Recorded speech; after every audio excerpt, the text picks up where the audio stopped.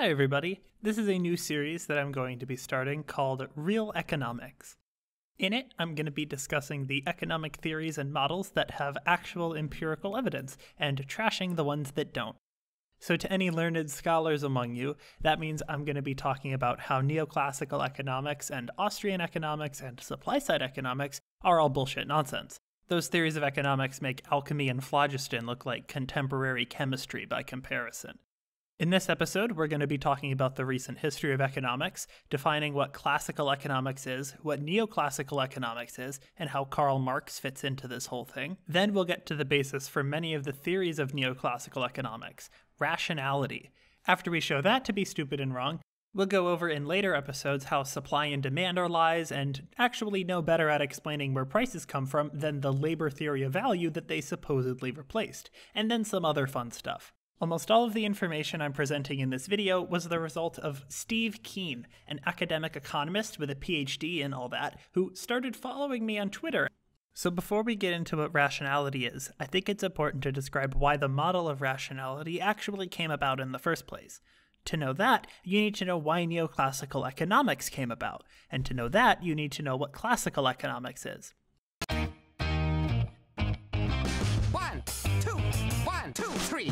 The earliest form of economics done by white people is called classical economics. There was other work done in the field of economics by non white people centuries earlier, though, such as the work summarized in the Discourses on Salt and Iron in China from 81 BC, in which it was determined over 2,000 years ago that laissez faire economics, in Chinese wu wei, literally do nothing, is bullshit.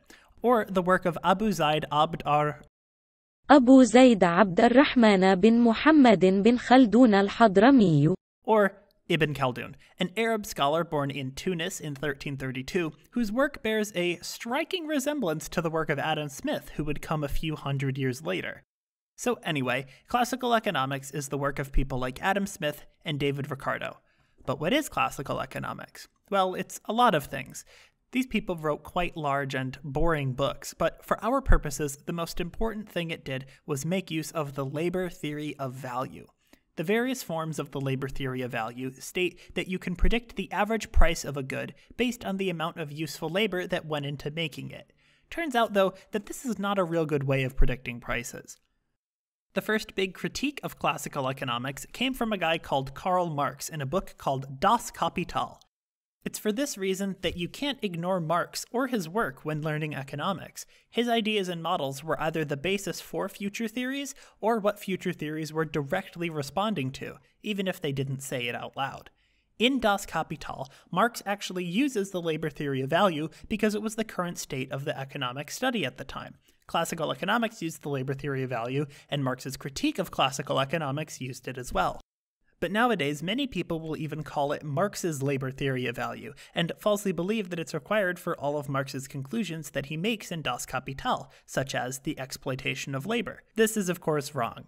You can show that even without the labor theory of value, that labor, workers, are exploited in capitalism. I mean, if you work for an hour making 10 shirts and each shirt sells for $10, then the company's going to be bringing in 100 bucks, but you're not going to get paid 100 bucks. If you did, the company wouldn't turn a profit. Therefore, you're exploited. The company has to be exploiting you, that is, not paying you the true value of what you produced, because otherwise they wouldn't be making money and they wouldn't have hired you. The only production that gets done in capitalism is production in which someone can be reliably exploited. You know that vague feeling you get when you come home from work that you're being ripped off? It's because it's true. Anyway, to oversimplify, Marx's work showed the value in modeling societies as groups of people with common interests, and where different groups have interests that are at odds with other groups. This is Marx's class conflict. Classes are people who fall on one side of a society and have conflicting interests with people who fall on the other side landlords and tenants, masters and slaves, bosses and workers. Each of these groups has interests that the group on the other side are opposed to. So, in response to classical economics, you get Marx's economics.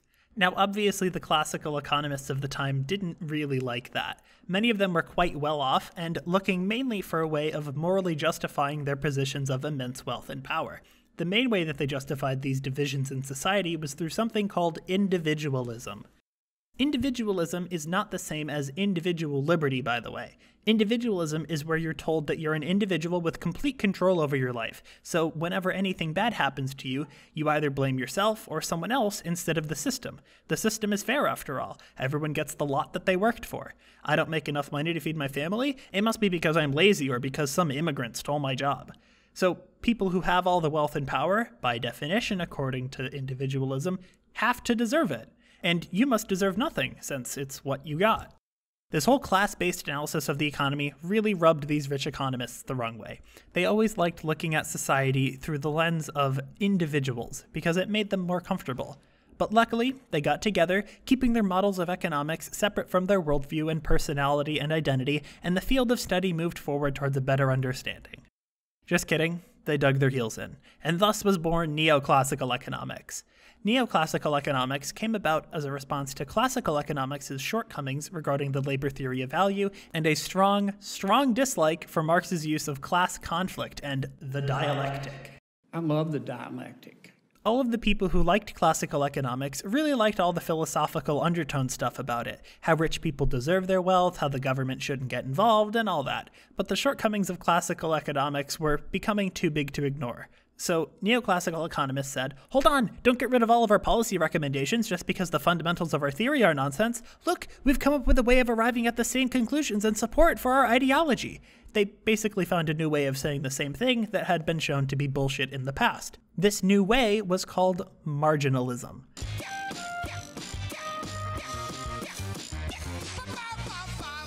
Marginalism says that you can effectively model the economy as being made up of individuals without having to get into class analysis and all that other uncomfortable stuff. Everyone has their own personal preferences. Each person likes different things to different amounts. So, the reason the labor theory of value can't reliably predict prices, they say, is because it doesn't take into account the personal preferences of every individual in the market. We'll talk about this in a future video on supply and demand. The formal definitions of all of this came out of a guy called Paul Samuelson, and by the end of the video, you're going to wonder what end of him it came out of. Paul Samuelson said that humans can accurately be modeled as rational utility maximizers. Okay, so what does that mean? Well, utility maximizers are people who try to get the most happiness or utility when given a choice. So they will never choose the option of being paid 100 bucks to eat thumbtacks if the option of just being paid 100 bucks for standing there is also available. That's reasonable. Rational, though, is a bit more complicated. There are four axioms, axiom is a word academics use to mean rule, that define rational behavior. The first is completeness. Someone who is rational can rank every choice available to them. So if the choices are A and B, they either like A more than B, B more than A, or both the same amount. It's called completeness because there are no choices which the rational actor, as they are called, has no opinion on or can't put in a ranking. Second is transitivity. If you prefer A to B and B to C, then you also have to prefer A to C. Third, non satiation. This is a fancy term that just means more is better. If one option has more of something, then it's preferred to one that has less, everything else being equal. Fourth is convexity. Each additional unit of something you get adds less happiness to your total happiness than the one before it. Economists call this diminishing marginal returns. Think about you getting $10,000 versus Jeff Bezos getting $10,000. That $10,000 is going to make you a lot happier than it is Jeff Bezos. So, what neoclassical economists like to use all these axioms for is to construct something called indifference curves. An indifference curve is a list of all the combinations of things that you're indifferent between. You like all of these different combinations the same amount. If we plot the amount of one good on an x axis and another one on a y axis, the line that connects all the different combinations which you like equally well is an indifference curve.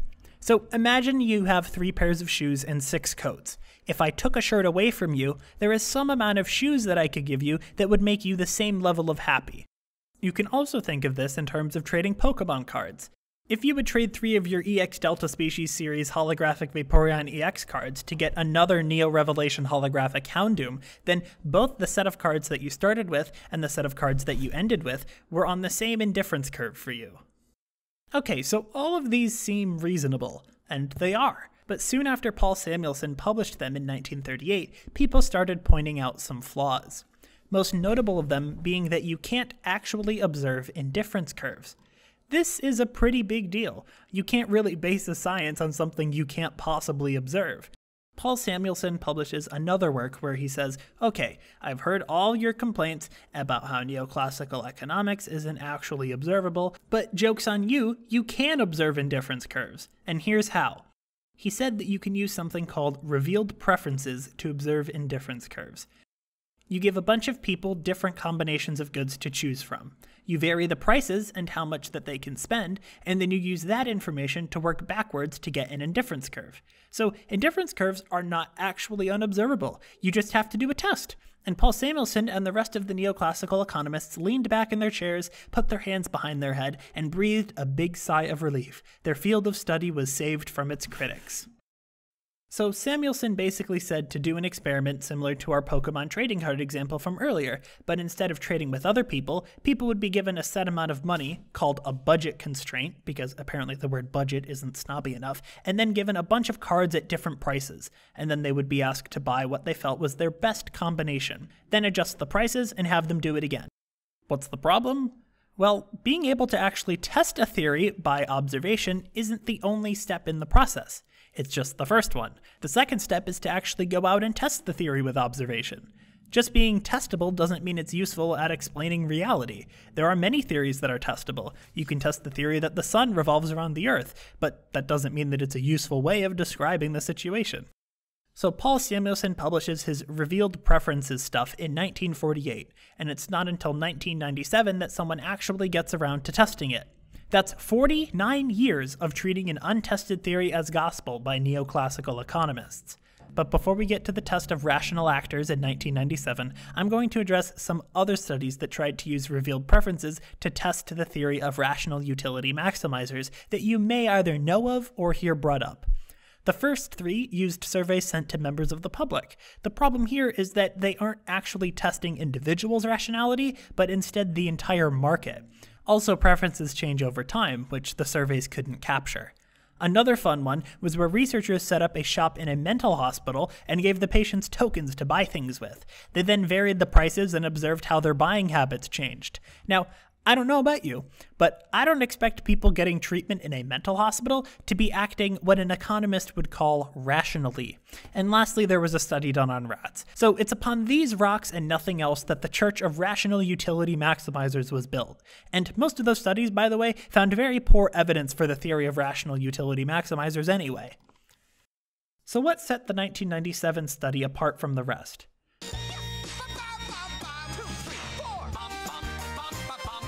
So this German guy named Reinhard Sippel, I'm pronouncing his name wrong probably, gets some university students and performs the first true test of whether the model of rational utility maximization accurately describes human behavior. The students, instead of picking Pokemon cards, chose the amount of eight different goods. They were able to actually consume the goods immediately after the test and were given as much time as they wanted to decide on their choice. The prices of the combinations they made were calculated automatically by a computer, so the students didn't have to worry about totaling up the cost of their combination themselves. They would just be given a budget, told the prices of the goods, and they could spend as much time as they wanted to get their perfect combination, with the computer telling them how much they had spent and had left all along the way. Then the prices were changed, and they did it all over again. They were also paid to be part of the study. Sippel is quoted with saying, There can be no doubt that the students tried to select a combination of goods that came as close as possible to what they really liked to consume, given the respective budget constraints. They spent a considerable amount of time in their decisions, typically 30 to 40 minutes, and repeatedly corrected their entries when they reconsidered previous choices. Originally, he did the test with a small number of students, but later expanded to a larger sample, one big enough to apply the central limit theorem. We're not going to get into it now. So, what did Sippel find? Well, he found that the vast majority of students behaved irrationally, violating the weak axiom of revealed preference and the strong axiom of revealed preference. The weak axiom says that if you prefer A to B, you should never prefer B to A.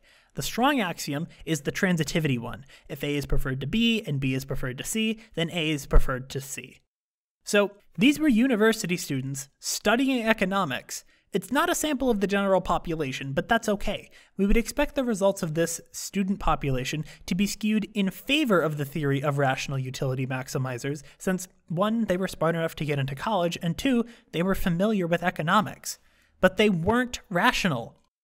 So, how serious were these violations of rationality? Sippel thought that maybe human minds are just not entirely precise you can relax the assumptions of rationality somewhat. Think of taking the line of an indifference curve and making it a bit thicker. Yeah, you might not like these two combinations exactly the same, but we'll call it close enough. When Sippel reduced the rationality constraint from 1 to 0.95, he found out that the students actually were rational. So that's good. But here's what sets Sippel apart from the rest. He then generated random choices and saw how those performed he found that at the same level of rational constraint, 0.95, randomness was rational as well. And further, when he reduced the constraint of rationality from 0.95 to 0.9 and lower, randomness was actually more rational than university students. So, Samuelson's model of rational behavior is better at describing choices made by rolling a die than the behavior of actual human beings.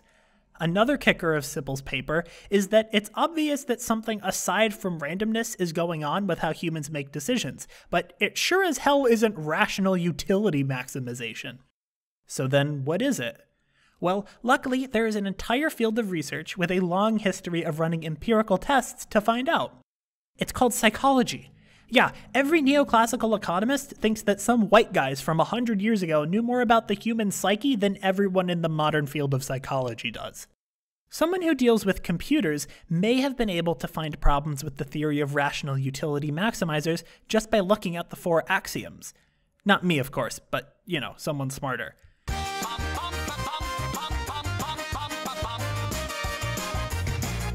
Specifically, the axiom of completeness. That's the first one that says that you can order every combination of things.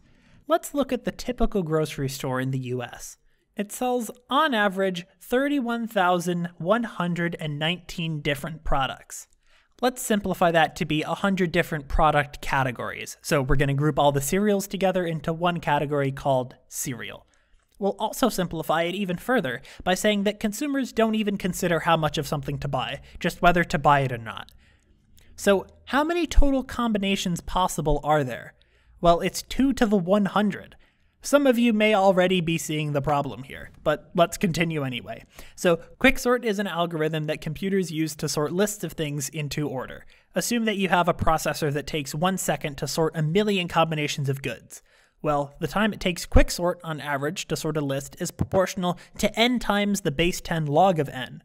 So in English, that means that if it takes one second to sort a million things, it's going to take 200 quadrillion years to sort enough combinations for you to do a very, very dumbed down version of your grocery shopping. This is why all the textbooks and examples you get in econ classes only ever use two goods. If they started giving examples with more than just two goods, you would realize how bullshit this model is. You'd be sitting at your desk in a lecture hall during your econ exam, taking 30 minutes or more to figure out with a pencil and paper the best bundle of things for this imaginary consumer to buy with $20, when it takes you and everyone else in the classroom 30 seconds at the checkout line. So, neoclassical economics' rational utility maximizer theory is pretty much dead in the water. It doesn't make sense from a computation standpoint theoretically. It was created to revitalize already problematic models to avoid the adherents of those models having to reassess their worldview. For the majority of its life, it was untested, and in the first real test it had, it was shown to be a better model of random noise than actual human behavior. Unfortunately for us, none of this stopped neoclassical economists from building the rest of their models on top of it. So, next episode, we're going to talk about supply and demand, which in neoclassical econ are built on top of rationality.